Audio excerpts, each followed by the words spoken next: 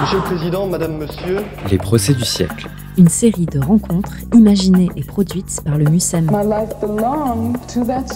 Saison 2. Féminisme, genre et minorité. Réunissant témoins, spécialistes et pièces à conviction, les procès du siècle ouvrent un espace d'échange citoyen. Après une première saison consacrée aux questions environnementales, nous dédions cette deuxième saison aux minorités dominées et à leur manière de s'exprimer, de résister, de revendiquer leurs droits. et devant lesquels j'ai cité un certain nombre de témoins. Les procès du siècle saison 2, Féminisme, genre et minorité. 14 épisodes enregistrés dans l'auditorium du MUSEM. Épisode 2. Mouvement Body Positive, une injonction qui ne dit pas son nom, avec Jennifer Padjemi, Marie de Brouwer et Judith Duportail à la modération. Bonsoir à tous, bienvenue.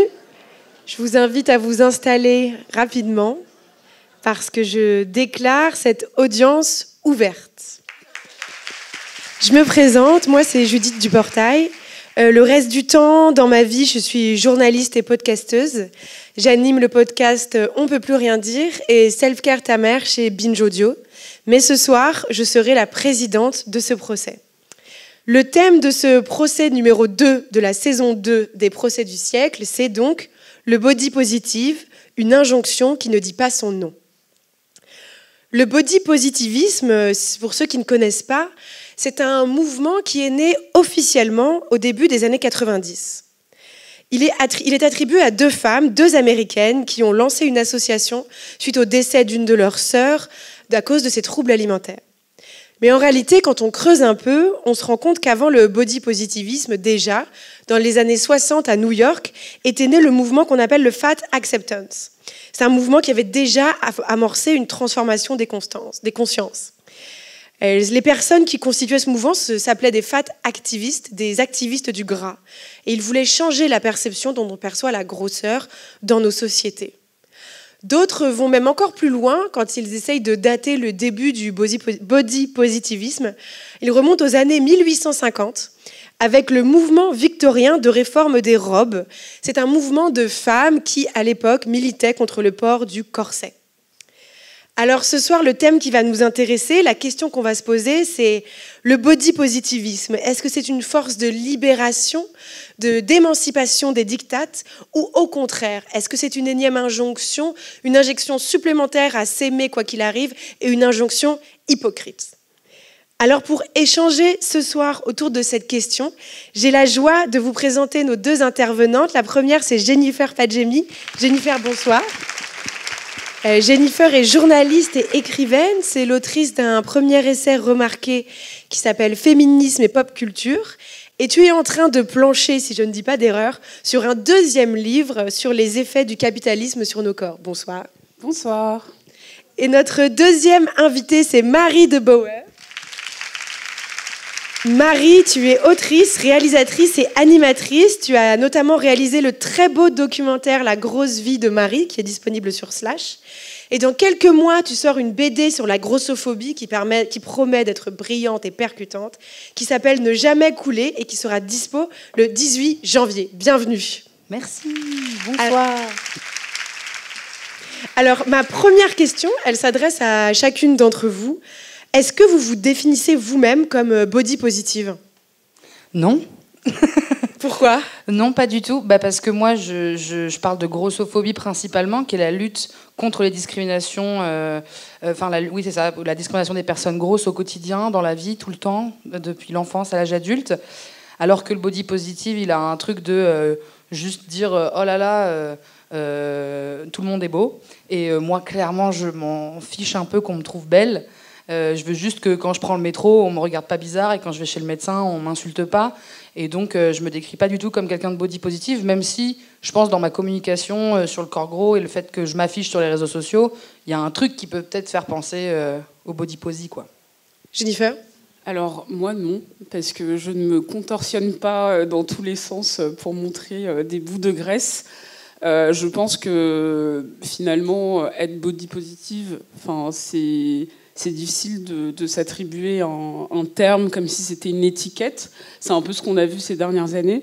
Mais moi, je ne me considère pas du tout comme tel. Je pense que finalement, être dans la norme peut prendre plusieurs aspects.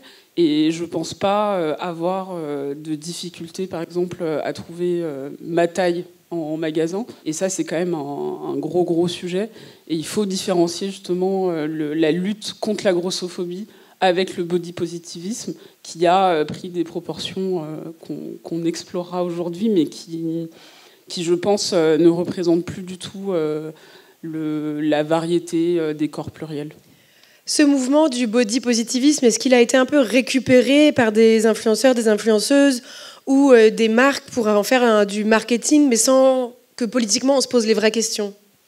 Complètement, euh, il a été complètement récupéré. C'est vrai que d'un point de vue perso, j'ai vu le body posing comme étant un truc de euh, ah trop chouette, il y a des meufs qui me ressemblent, c'est cool. Et puis on avance dans le temps et c'est plus du tout regarder des corps gros existent et on peut les mettre nus et on peut les mettre en valeur.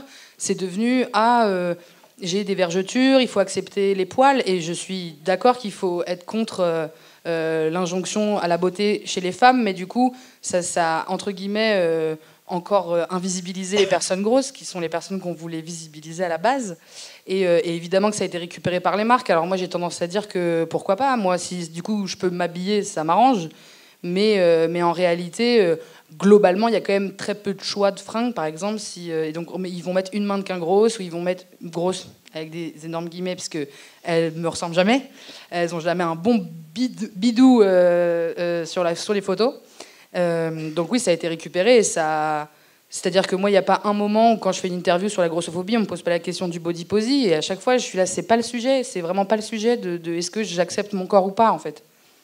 Oui, parce que ce que tu disais qui est très intéressant, c'est que euh, on peut s'aimer soi-même autant qu'on veut. Euh, si à chaque fois qu'on va chez le médecin, on est humilié, discriminé, euh, maltraité, si à chaque fois qu'on veut avoir un, on va un, entretien d'embauche, on est discriminé, si à chaque fois qu'on va dans la rue, on se fait insulter, j'ai beau m'aimer moi-même, ça suffit pas quoi. Enfin, c'est ça. C'est exactement ça. C'est-à-dire que c'est une violence qui est constante.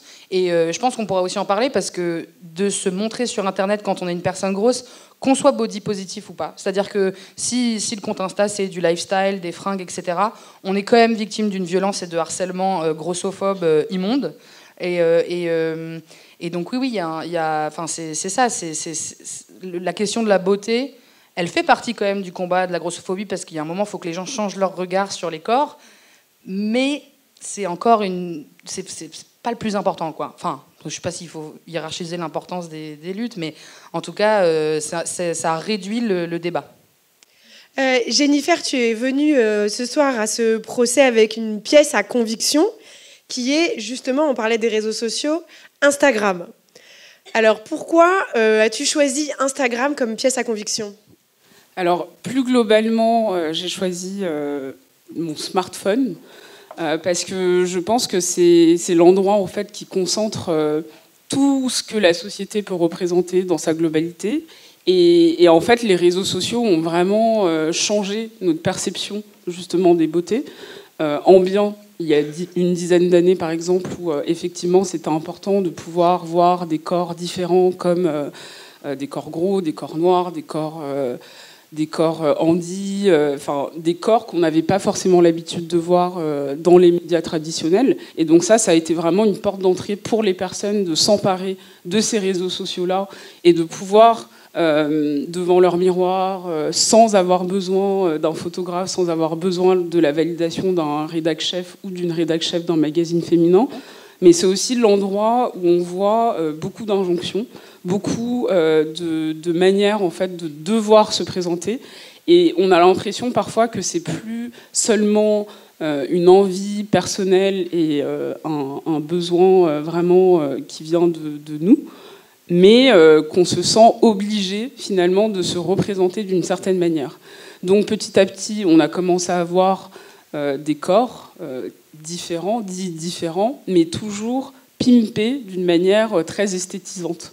Donc c'est-à-dire euh, un corps gros mais euh, euh, ultra sapé, très féminin, bien maquillée, avec vraiment tous les codes normatifs de la beauté, donc les cheveux longs, une taille marquée, etc. etc.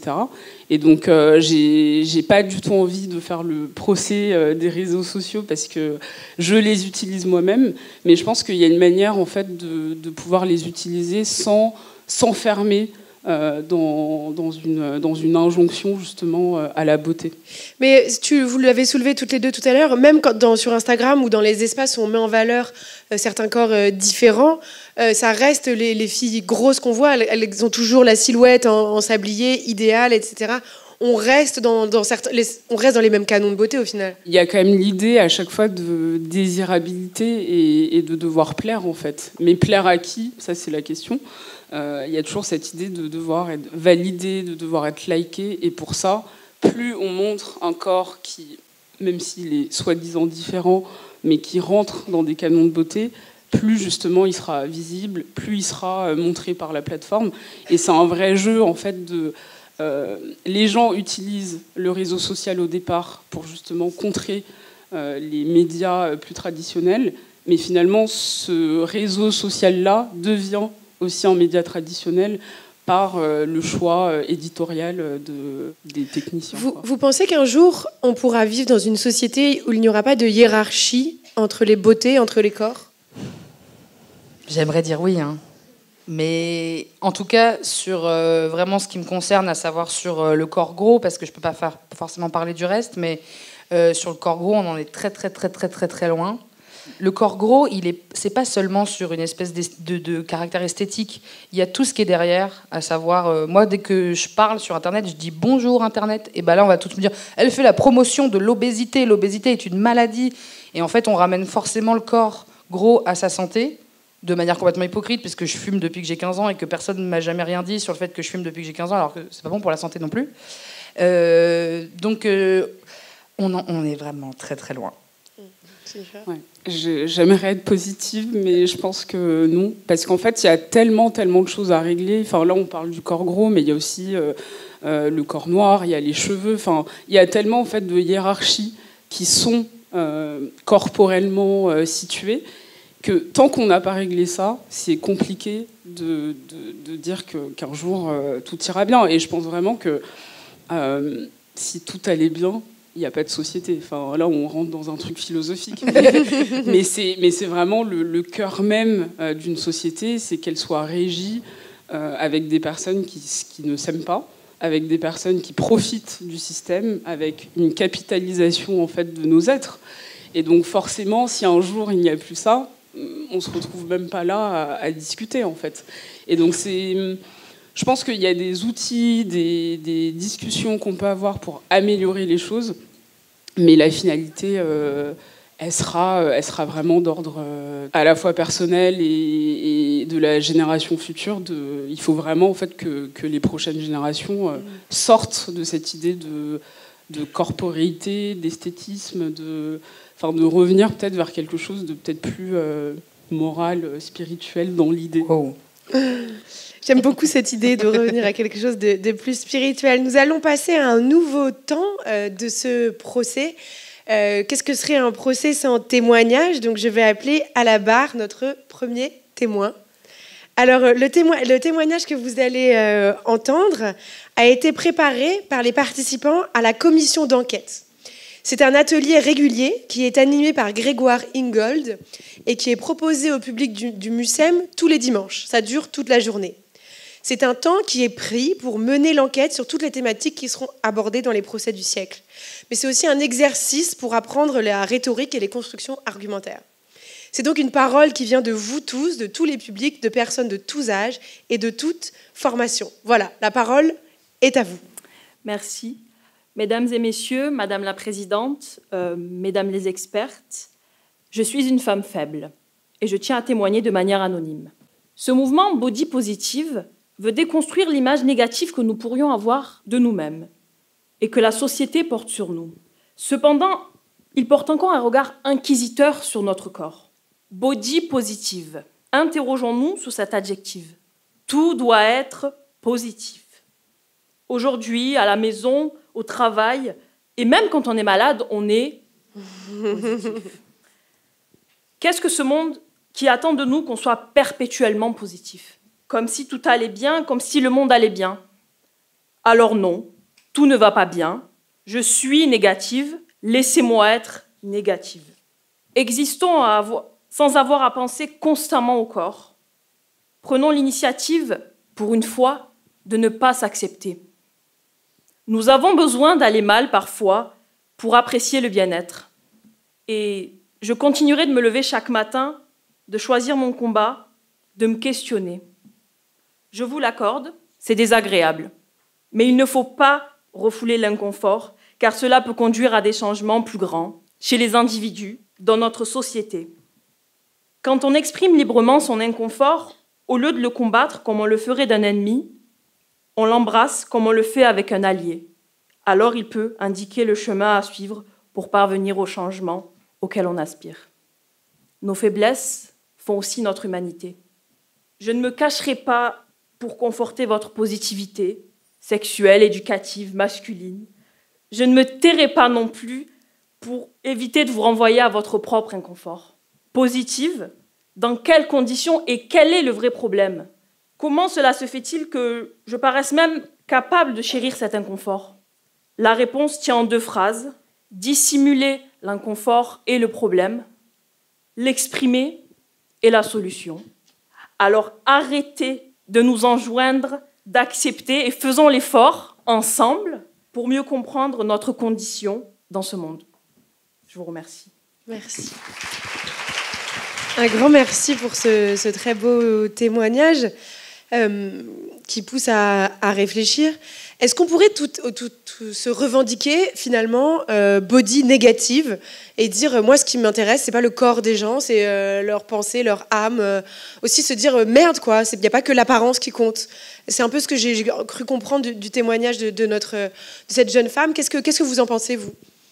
Euh, en fait, je pense que que c'est pas euh, forcément euh, une mauvaise chose de vouloir se trouver beau, de vouloir d'aimer la mode, d'aimer le maquillage, d'aimer les choses qui peuvent rendre belle, mais, c'est surtout de se poser la question pourquoi on le fait? Et, et souvent, la réponse, c'est pas pour nous, c'est plutôt pour les autres. Mais effectivement, euh, ça peut être super euh, bien de se lever le matin et de se dire je suis moche et c'est pas grave en fait. Enfin, je vais quand même passer une, bonne journée, je vais quand même euh, voir mes amis, je vais quand même avoir une vie. Et, la question, c'est comment on se décentre en fait de l'idée de se regarder dans le miroir et d'avoir même un avis. Est-ce qu'on peut essayer de ressentir nos émotions? Qu'est-ce que je ressens? Pourquoi je ressens ça? Et, dans ce que j'ai écouté, euh, ce que je trouve intéressant, c'est que euh, c'est à nous de choisir.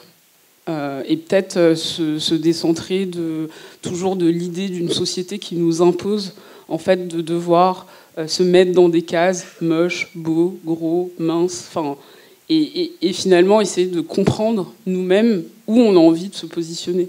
Et si une personne a envie d'être positive, pour euh, des raisons qui la concernent, tant mieux, et d'autres raisons euh, inverses, tant mieux aussi.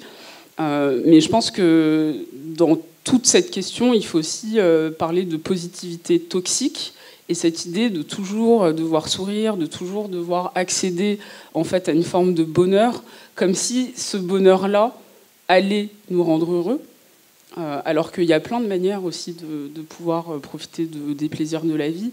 Et, cette positivité toxique, c'est ça qu'il faut remettre en question. C'est pas le fait de d'aimer euh, son corps gros, d'aimer euh, euh, des caractéristiques physiques, mais c'est quand ça devient forcé et que ça devient presque une, une obligation pour survivre. Alors l'heure est venue de consulter notre deuxième pièce à conviction. C'est un, extrait de la série Shrill. C'est une série qui est extrêmement importante parce que c'est la première fois, l'une des premières fois, qu'on voit euh, un personnage euh, principal gros, qui est un peu énervant aussi parfois, et c'est bien, parce qu'une personne qui a une altérité n'a pas besoin de toujours être super, géniale, la vie est belle, elle est agaçante, elle s'habille bien, on la voit dans, des, dans des scènes de, sexe, et c'est vrai que ce qui est intéressant, c'est qu'elle a vraiment une, une agentivité où où on la voit en fait euh, choisir, on la voit euh, avoir un, un positionnement euh, très fort. L'agentivité, juste pour expliquer, c'est une notion, euh, enfin, je- arrête-moi si je dis n'importe quoi, une notion féministe pour expliquer que les femmes ne sont pas forcément en train de subir leur destin, et que c'est Oui. la capacité qu'on a à agir sur sa vie. Complètement. J'aurais pu aussi choisir un mot plus simple, l'autonomie, mais l'agentivité, euh, ça fait plus classe. Ah, t'es écrivaine. Et, euh, et donc voilà, j'ai choisi euh, cette série parce que finalement on voit que euh, la fin de la série marque aussi la fin d'une ère où on s'est intéressé au mouvement body positive, au corps gros, mais pour combien de temps? Et ça c'était vraiment la question de savoir est-ce que c'est juste une capitalisation des productions, des marques euh, qui s'intéressent à un phénomène de société, mais qui, qui va beaucoup plus loin que juste une décennie. C'est-à-dire qu'il faut l'ancrer, il faut qu'on voit plus de personnages comme ça. Et, je pense vraiment que les questions de représentation sont extrêmement importantes pour euh, et des personnes concernées, mais même des personnes pas concernées, finalement, parce que on voit que, que et dans cet extrait et dans toute la série, finalement, si on n'a pas vécu ça soi-même, on peut se, l'imaginer, on peut aussi ressentir ce que la personne a vécu, mais surtout, c'est une histoire euh, mondiale. Euh, quand elle parle de spécial cas euh, de, de sa mère, tout le monde a déjà vécu un moment marquant avec ses parents, avec sa famille, le commentaire sur le poids, le commentaire sur qu'est-ce que tu manges. Et je trouve que c'est extrêmement universel et il faut rendre ces récits plus universels. Oui, c'est euh, moi ce qui, me brise le cœur, c'est ce qu'elle raconte ouais, sur le, son enfance, c'est le, le bol de spécial cas. Et je pense que tu as raison, c'est très juste. On a tous euh, traversé euh, quelque chose d'à peu près similaire avec euh, une humiliation d'adultes qui t'expliquent tout d'un coup qu'en plus les mecs t'aimeront pas, enfin une espèce de menace, de sentence euh, terrifiante en plus quand tu es une petite fille. quoi. Euh, Marie, toi aussi, c'est quelque, c'est quelque chose que tu as connu dans ton enfance? Euh, complètement, bien sûr. Euh, Tout enfant gros ou grosse euh, l'a vécu. Alors, je suppose aussi que les personnes dites normées, enfin, les personnes normées aussi ont, vécu des injonctions alimentaires, etc. De toute manière, le cadre intime est super, peut être super toxique là-dessus, évidemment. Et je pense même que c'est parce que j'ai vécu des scènes comme ça, pas forcément uniquement dans ma famille, puisque j'ai eu de la chance de pas être dans une famille qui me harcèle, etc. Mais, mais je pense que c'est cette enfance-là qui a fait que je suis une femme grosse aujourd'hui. Et, on, réfléchit rarement aux conséquences de la grossophobie sur euh, euh, le corps adulte. Et euh, encore une fois, je rappelle que l'âge des premiers régimes, c'est 8 ans. Et l'âge des premiers commentaires négatifs chez les jeunes filles sur leur corps, c'est 12 ans et moins. Non, l'inverse, pardon. Régime, 12 ans. Premier commentaire négatif, moins de 8 ans. Elle est peut-être un peu jeune pour faire des régimes? Je sais pas, moi je pense que oui. Et, euh, et donc oui, oui, j'ai évidemment vécu ce genre de scène et surtout et évidemment cette menace, euh, tu plairas pas aux garçons, euh, bah ok, bah, c'est pas grave. hein. Je m'en sors plutôt pas mal, je fais des trucs au musem, c'est cool. tant pis les garçons, vous savez pas ce que vous ratez. Est-ce qu'il faut apprendre aux parents à mener des éducations qui soient au moins pas body toxiques? Ah, tellement. Tellement, tellement, tellement. Parce que je pense que, euh, en fait, c'est un cercle vicieux de euh, nos parents, et moi, je vais plutôt parler aussi du rapport à la mère, mais, euh, mais on, ramène leurs propres angoisses sur leurs enfants. Il y a beaucoup, j'ai beaucoup parlé avec des personnes grosses aussi, de, qui ont peur de leur grossophobie intériorisée, de la remettre sur, leur, sur leurs enfants. Et de, et mais sauf que c'est un truc de fou. Moi, j'ai une petite nièce, et c'est insupportable le, nombre de commentaires qu'on lui fait sur son physique alors qu'elle a 6 ans. Toujours, oh, qu'est-ce que t'es belle, qu'est-ce que t'es jolie, qu'est-ce que t'es. Et c'est bon, stop, arrêtez de. Enfin voilà. Euh, c'est- Donc je, oui, faut, je pense qu'il. il- Je sais pas comment on peut euh, rendre un, un peu un truc ins- d'institution autour de euh, l'éducation sur le corps aux parents, mais c'est sûr qu'il y a quelque chose à faire. Tu disais, Jennifer, que le mouvement body positive a à peu près une décennie. Euh, Aujourd'hui, on entend beaucoup dire que c'est le retour de la minceur avec euh, Kim Kardashian qui a enlevé ses euh, implants, etc. Comment tu analyses, toi, le- la situation actuelle? Est-ce que tu penses que c'est vraiment le retour de, des, des filles comme ça, comme, comment elle s'appelle cette mannequin Kate Moss. Kate Moss, ouais, voilà. Je, je pense que c'est pas le retour, je pense que c'est jamais parti.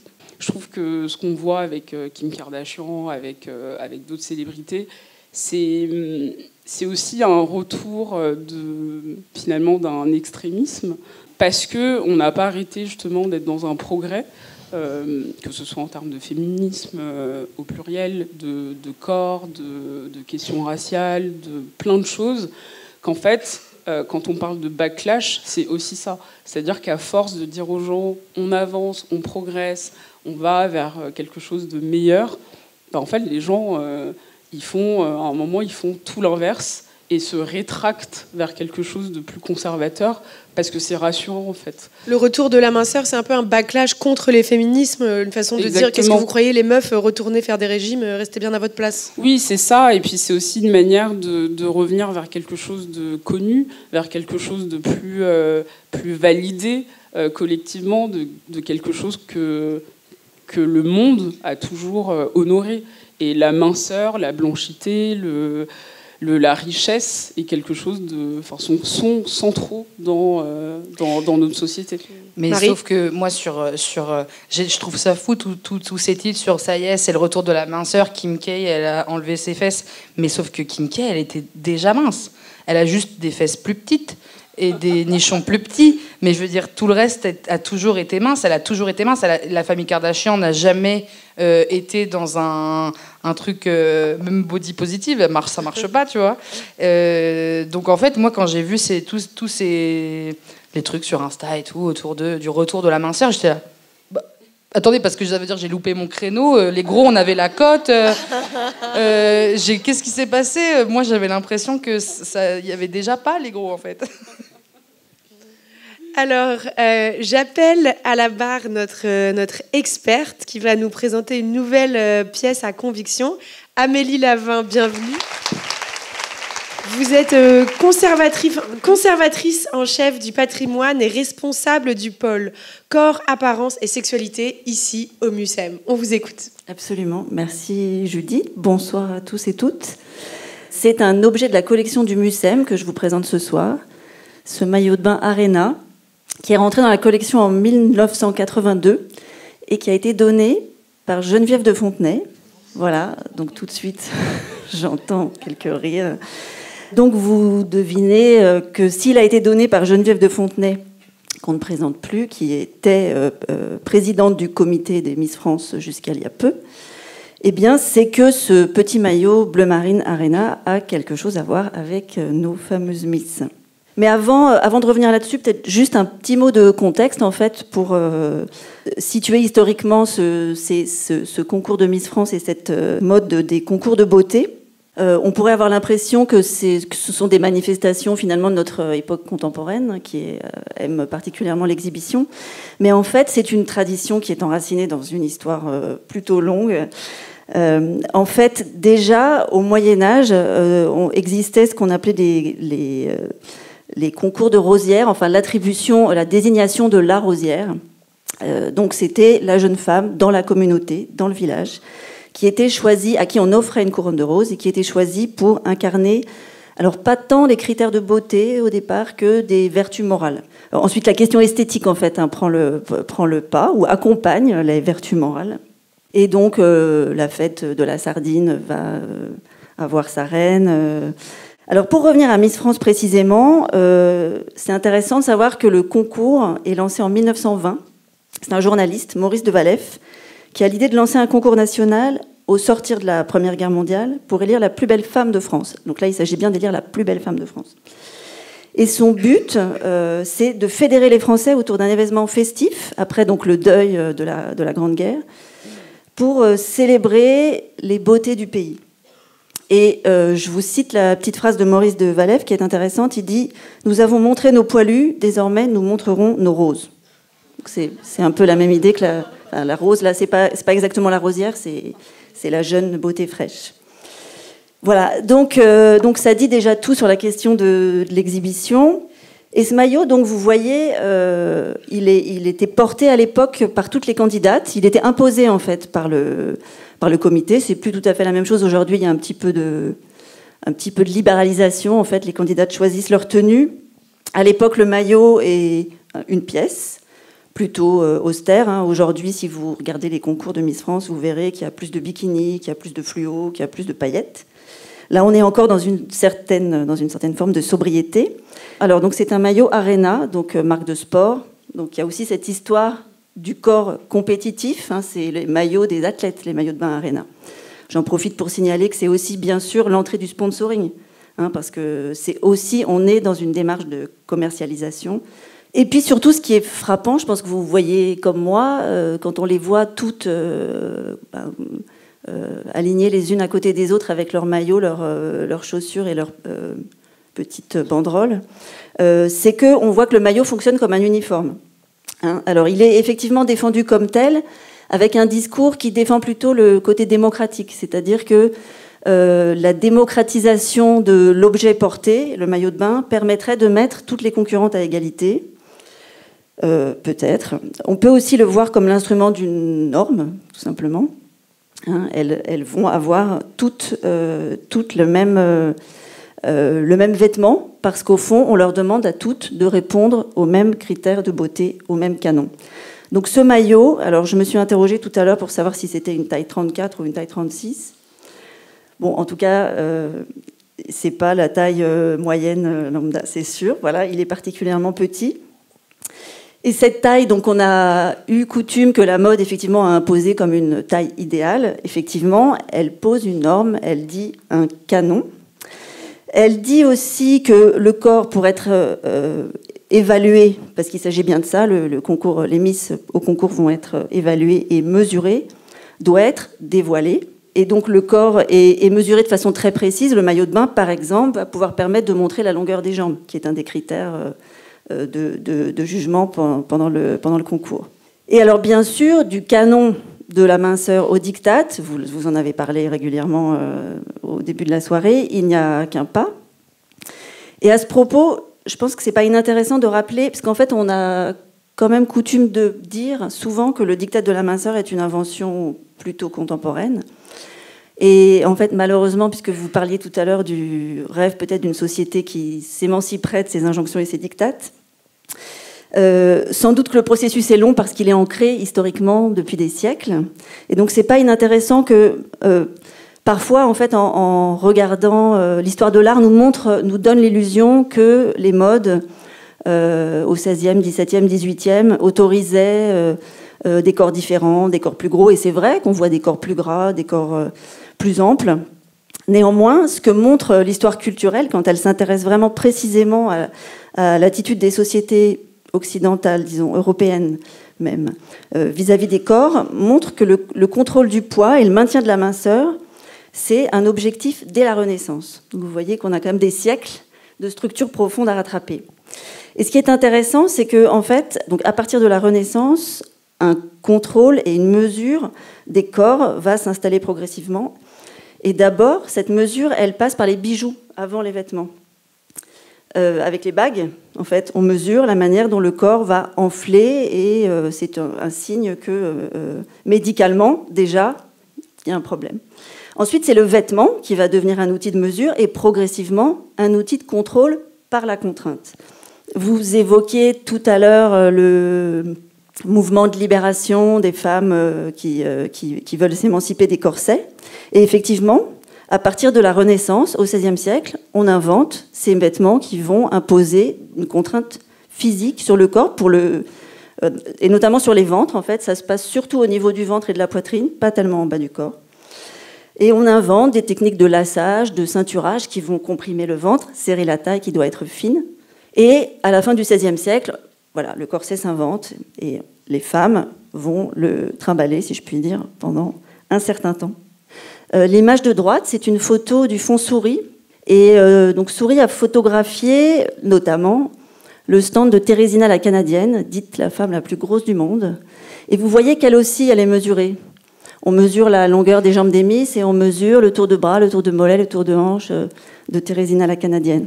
Alors vous savez sans doute qu'on avait coutume donc d'appeler ces, femmes ou ces hommes d'ailleurs. Hein, euh, personnages pour le coup féminins et masculins, des phénomènes ou des monstres de foire.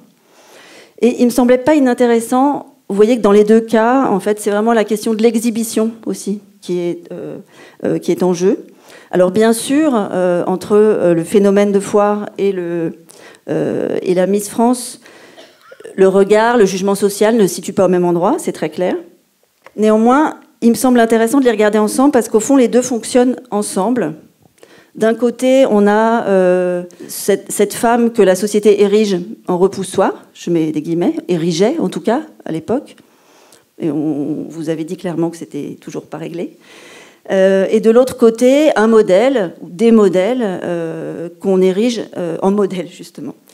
Mais au fond, il me semble que c'est vraiment dans l'objectivation, et, le mot d'objet ne vient pas pour rien dans ma bouche à ce moment-là, dans l'objectivation réciproque de ces corps que la société forme, forme et formalise ses normes et ses injonctions, et que finalement, si on les retourne, on imagine une sorte de, société à l'envers, vous savez, les mondes à l'envers des carnavals. Si le canon devient Thérésina et euh, le contre-canon, euh, la Miss France, au fond, voilà, laquelle est le phénomène de foi? Merci beaucoup. Merci, c'était vraiment extrêmement intéressant de, de, vous écouter. Euh, je pense qu'on ne peut pas parler de body positivisme sans parler du capitalisme et du capitalisme scopique le capitalisme scopique, c'est une, notion qui a été développée par une sociologue qui s'appelle Eva Illouz, et elle explique que c'est tout le business qui va autour le, le fait de se regarder. C'est un peu le capitalisme du regard. C'est exactement ce qu'on vient de montrer là avec les concours de, de, beauté, etc. Ce qui était très intéressant aussi, c'était cette notion d'être une bête de foire, d'être monstrueux.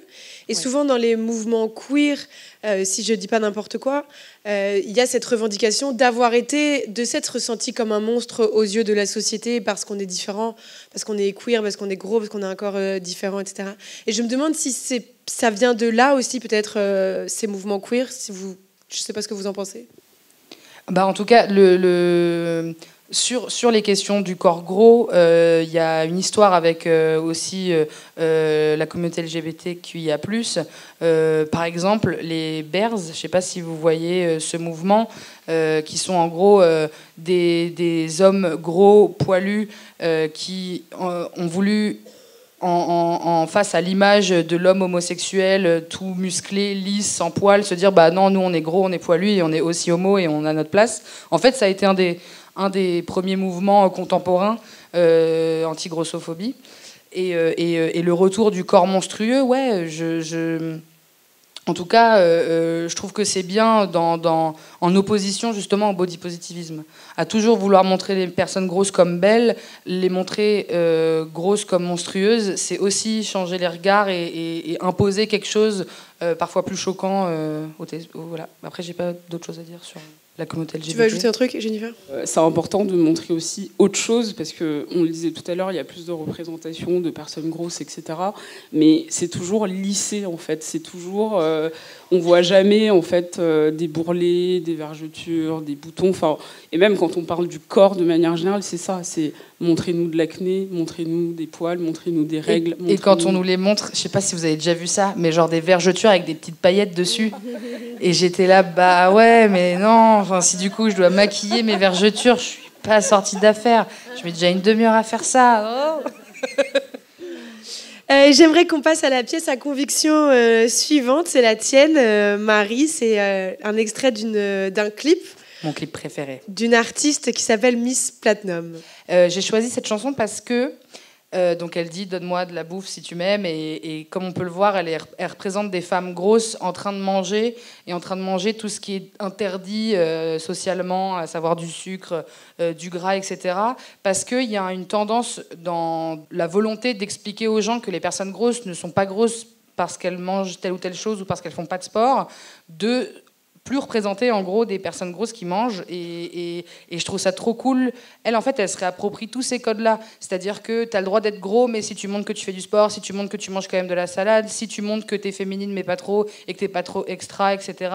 Et elle, elle a tout l'inverse, c'est-à-dire qu'elle dit qu'elle met plein de crème dans son café, elle mange des sucettes de la taille de sa tête, elle, elle sort quand même d'une barre de chocolat Genre vraiment, j'étais là, mais c'est mon rêve, je veux faire ça à mon mariage. Je veux sortir d'un paquet de gâteaux et, euh, euh, et, aussi sur tout l'aspect euh, du féminin très. C'est-à-dire que l'on voit toutes les, les, meufs dans le clip, elles sont en rose, elles sont en flashy, elles sont super extra. Ça aussi, c'est se réapproprier des codes presque de bimbo. Enfin, ça me parle vachement, quoi, en tout cas. Merci. J'ai une dernière question à vous poser à chacune avant qu'on passe la parole à, à la salle. Euh, Selon une étude euh, IFOP, 46% euh, des hommes hétéros refuseraient d'être en couple avec une femme qui serait hors des canons de beauté. Qu'est-ce que vous avez envie de dire à ces 46% d'hommes? Mes préférés. En tant que femme hétérosexuelle, je les côtoie énormément. Bah, déjà, en fait, ça me fait de la peine de savoir ça. Pas de la peine pour moi, parce que du coup, je peux pas pêcher 46% de la population masculine hétéro, parce que je m'en porte très bien. Euh, mais euh, plus de la peine pour eux, parce que ça veut dire que. Euh, et de la peine pour leur compagne aussi. Et en plus, 46%, je pense même que c'est plus que ça. Si on parle par exemple de la grosseur, je pense qu'il y a des gens qui disent oui, oui, je pourrais sortir avec une femme comme ci, comme ça, mais grosse, non. Et, et donc, je pense que le chiffre est encore plus élevé c'est, ça me fait de la peine, quoi. J'ai pas, j'ai pas, j'aurais envie de leur dire, mais, mais mec, si c'est ça ton, enfin, genre réfléchis cinq minutes. Qu'est-ce que tu es bête et qu'est-ce que c'est, quelle est triste ta vie, quoi? Jennifer? C'est vrai que c'est triste, mais euh, j'aimerais bien savoir si ce sont des hommes euh, blancs, euh, quel est leur métier, où ils habitent, etc., etc. Et en fait, ce genre de chiffres. C'est intéressant parce que ça permet d'avoir un, gros paf dans la figure. Mais finalement, ça veut tout et rien dire parce que euh, il faut tellement prendre en compte plein de choses, euh, la question raciale, euh, la ville, de quel milieu on vient, et, la beauté veut pas dire la même chose en fait selon tout ça.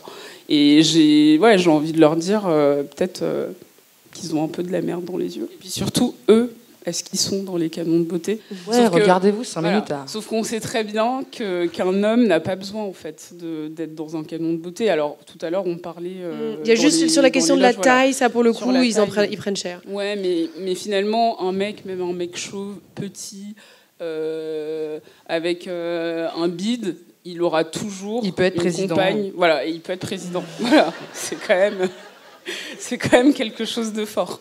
Bah ouais. C'est vrai. Merci à vous deux, vraiment. Alors, euh, la parole euh, est à vous. Si vous avez une question pour nos invités, euh, n'hésitez pas. Levez la main si vous voulez. Hop, alors, j'ai ici une dame. Si. bonsoir. Bonsoir. C'est pour rebondir sur l'information que vous avez donnée à la fin. 46% des hommes ne pourraient être attirés apparemment par des femmes qui ne correspondent pas aux critères de beauté. Donc ma question est la suivante. Est-ce qu'on peut éduquer le désir en fait? Ah. My subject. Oui, il faut savoir que d'ailleurs j'écris un documentaire euh, sur, euh, sur la question. Mais euh, pour ramener toujours à moi. Mais je pense que oui. Alors je vais encore une fois prendre mon cas personnel puisque c'est le cas que je connais le mieux. moi je sais que j'avais pas de désir pour les hommes gros. En me disant, bah non, on va pas être deux gros déjà. Euh, en plus de ça, moi mon corps je le trouve moche, donc pourquoi je trouverais un autre corps gros beau? Et puis je me suis un peu éduqué le crâne et mon regard a complètement changé sur, euh, sur les corps et je trouve autant euh, les hommes gros magnifiques que des hommes minces. Et donc je pense que oui le regard, mais ça, ça se fait. Enfin, par exemple, la représentation euh, dans les films, euh, la représentation dans la pop culture en général, de montrer des gros faire l'amour, de montrer des gros euh, être amoureux, être triste, être nul et, vivre des histoires d'amour, ça montre qu'on peut en vivre et donc changer le regard. Moi, j'aurais pas eu ce regard-là sur mon propre corps et sur ma propre vie sentimentale si j'avais pas constamment été dans les films la copine de la meuf qui pécho le gars. Et sauf que moi, j'en ai marre d'être la copine de la meuf qui pêche le gars. Je veux être la meuf qui pêche le gars. Et donc, je, je, je, pense que le regard, il peut, avec le temps, euh, changer. Et euh, je touche du bois. Mais moi, je pense qu'il y a quelque chose que tu as soulevé qui est extrêmement intéressant, c'est que ces hommes-là, ils disaient, ils disaient pas qu'ils n'avaient pas de désir pour les femmes hors, hors, canon de beauté en plus. Ils pourraient pas sortir avec. Ils pourraient pas sortir avec. Donc il y avait le côté, ce que tu as soulevé, de dire être avec une, être au bras d'une femme dans les canons de beauté, c'est un faire valoir, quoi. C'est comme avoir une belle bagnole. Et, je pense que c'est ça aussi, euh, c'est le côté euh, se faire mousser via ça ou son partenaire, qui est encore pire. Mais enfin voilà. Et je donc peux faire un- du coup juste un mini point sur la fétichisation parce que en réalité les corbeaux sont désirés mais sont désirés en secret, sont désirés de manière cachée. Euh, Il y a des bons dictons du style une femme grosse c'est comme des pantoufles, on est bien dedans mais on sort pas avec. Merci. Qui construit une estime de soi euh, solide. Et euh, et globalement, je, je le constate dans mon travail sur, avec toutes les personnes grosses que je rencontre. Toutes les femmes grosses que je connais, mais 100% ont été dans des relations où elles ont été cachées, où elles n'ont été que des objets sexuels, elles ont, elles ont été fétichisées. Donc, en réalité, le désir, il est là. Et euh, il, est- il y a aussi beaucoup, beaucoup de rejet. C'est un micmac entre un, le fétichisme et le désir, mais il n'y a pas le entre-deux de, bah, euh, comme d'hab, normal, quoi. Merci, un grand merci d'avoir été avec nous. Cette séance a été enregistrée le 21 novembre 2022, avec la participation de Jennifer Padgemi, Marie de Brouwer, Amélie Lavin et de Judith Duportail à la modération. C'était le podcast Procès du siècle, féminisme, genre et minorité. Une proposition conçue et mise en scène par le MUSEM en collaboration avec Grégoire Ingold. À la modération, Judith Duportail, Toufi Kakem, Talma Desta, Paloma Moritz, Valentine Auberti et Victoire Tuaillon. En partenariat avec Libération, Blast, Le Bonbon et Mademoiselle. Réalisation Copie Carbone. Rendez-vous sur le site du MUSEM pour plus d'informations sur la série et les pièces à conviction. Et retrouvez l'ensemble des épisodes de la saison sur votre application de podcast habituelle. Merci pour votre écoute et à très bientôt.